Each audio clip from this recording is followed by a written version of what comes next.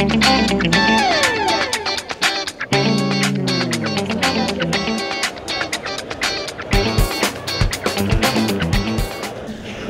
to the inaugural Lewis E. Harris Lecture.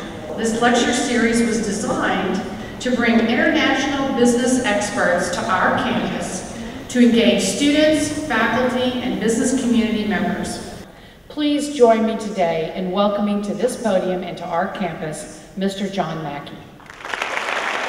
So we just attended a lecture about ethics in business. It was John Mackey, the CEO and founder of Whole Foods. He spoke a lot about like capitalism in the US and how he's a big supporter of it. I'm a capitalist. I believe in capitalism. I think capitalism is the greatest invention humanity's ever done. I thought it was really interesting. He brought a lot of like good points, and it was interesting to get a perspective of someone who's actually in the field of everything.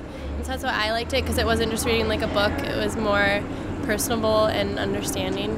Why are ethics imperative to good business? Because that's the foundation of good business. Without ethics, without trust, the reciprocity, which is at the root of business, would, would fall apart and business would no longer flourish and prosper. So let me just take on one what I consider one of the great myths of capitalism.